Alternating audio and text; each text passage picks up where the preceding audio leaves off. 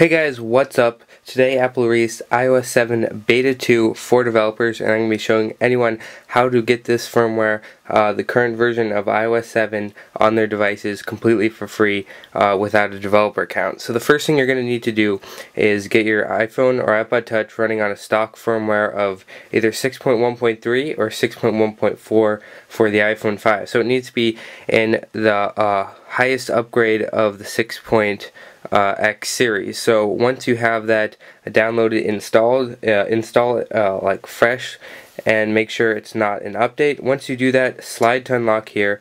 And we're going to be quickly going through the process to uh, register our device on 6.1.3.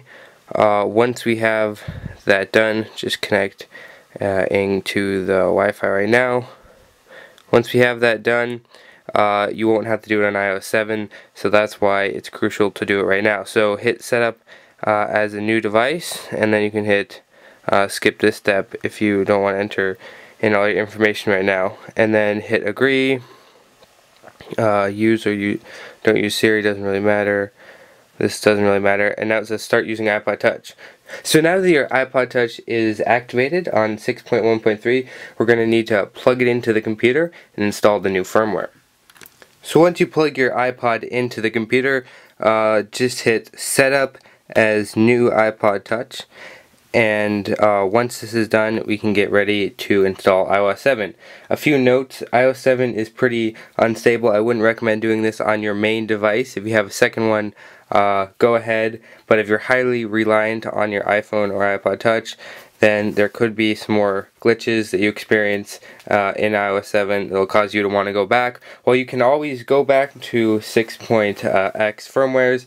It can be a pain, uh, and you'll never be able to get back to 6.1.2, which is the firmware where you can jailbreak on. So basically, all we're going to have to do is hit the Get Started button right now. And then what you're going to do next is hold down the Alt key if you're on a Mac like me or Shift key if you're on a PC. Then click Check for Update. So you have to hit the Check for Update and not the Restore iPod. So what you're going to be doing now is finding your iOS 7 Beta 2 firmware for your respective device.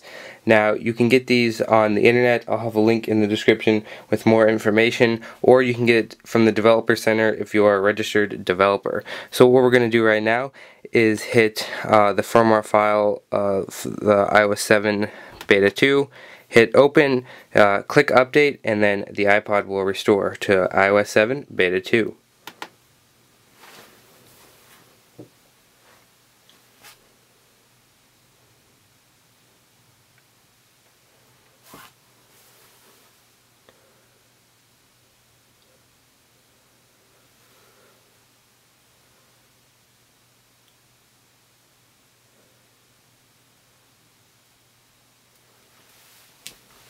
Once the process is done, iOS 7 should be installed on your device.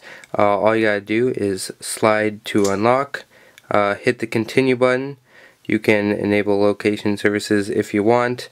Uh, you can skip this step, uh, skip,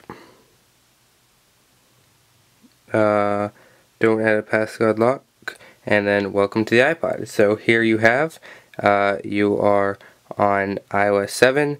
Thanks for watching and I'll see you guys later. If you ever want to downgrade, click the link in the description to go to our downgrade video.